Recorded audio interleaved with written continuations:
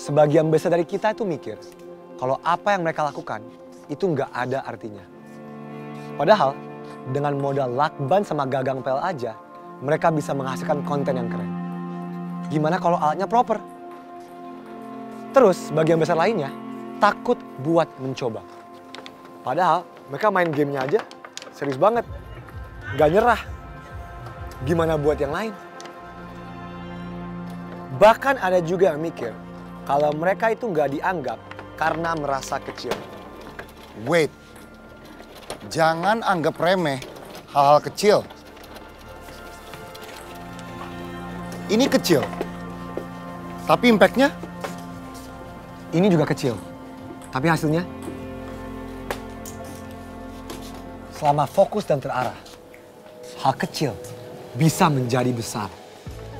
Narasi percaya akan kekuatan dari hal-hal kecil. Kami juga memulai dari satu langkah yang kecil. Setiap dari kita bisa membawa perubahan lewat cerita yang kita punya dan hal-hal yang kita sukai. Kami ingin terus bergerak dan jadi paham bareng kalian. Terus ikuti kami.